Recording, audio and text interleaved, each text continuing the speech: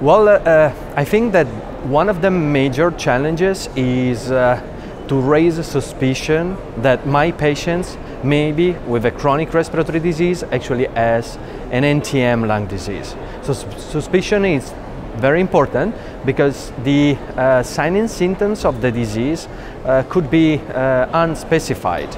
So patient might uh, undergo several investigations and seen by different doctors, uh, different diagnoses could be made. Uh, and uh, finally the patient actually has an NTM lung disease. So suspicion is very important and then, uh, you know, uh, the identification of the disease activity is crucial in order to start uh, promptly the correct antibiotic treatment.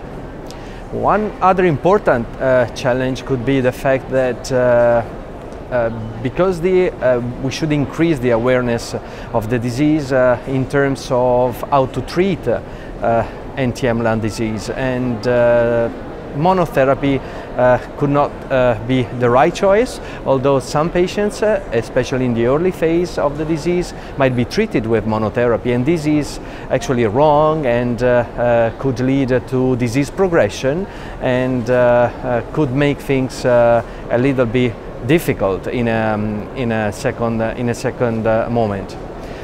Finally, quality of life of the patients is so important uh, that these kind of patients uh, uh, are bad, they have daily and symptoms, and we should find a treatment that can improve their quality of life and their clinical outcomes in general.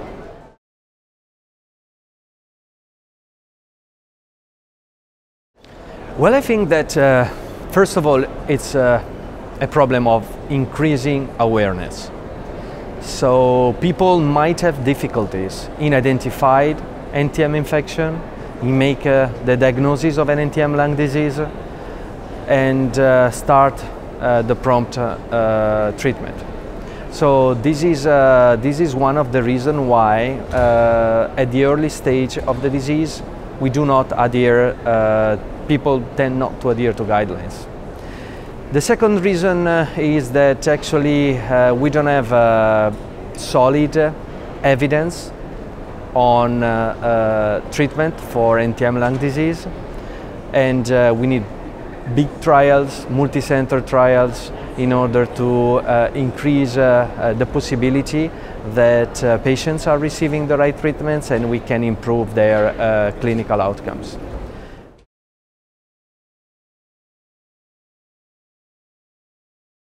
Well, I'm a strong believer that multidisciplinary team uh, is nowadays uh, a sort of standard of care for most of uh, uh chronic lung infection, uh, including NTM lung disease. I think that uh, I have in, in my multidisciplinary team back in Milan, there are several healthcare professionals working in the program and I'm consulting with them every day. Uh, from the early uh, diagnosis of the disease to, uh, let's say, palliative care in some of, of my patients. So I think that uh, key people in the multidisciplinary team uh, should be, of course, uh, the uh, microbiologist, a clinical microbiologist, uh, should be a radiologist, especially uh, for the follow-up of the disease in order to understand if from a radiological point of view the patient is improving or is getting worse or is having some complication.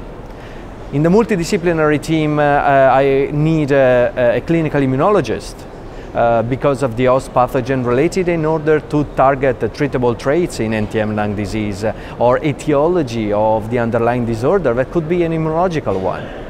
Respiratory physiotherapy is crucial because the majority of the patient have bronchiectasis and we need to improve airway clearance for this kind of patients and improve their signs and symptoms and the quality uh, of life. And uh, surgeons, because we should not, uh, should not forget that there is a surgical option for some NTM patients, so we tend to discuss with them, and uh, several other healthcare professionals. So nowadays in 2018, uh, uh, this kind of uh, disease uh, uh, in specialized centers should be uh, treated, diagnosed, treated and followed up within a multidisciplinary team. And I think that the pulmonary, the pulmonary physicians have the responsibilities to lead the multidisciplinary team.